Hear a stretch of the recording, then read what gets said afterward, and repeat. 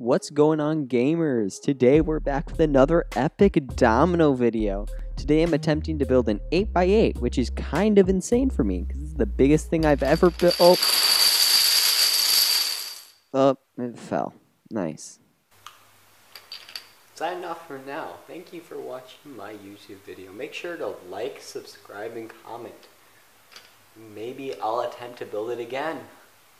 That would be insane, guys. Make sure to do those. See you guys later. Bye-bye. You heard the man.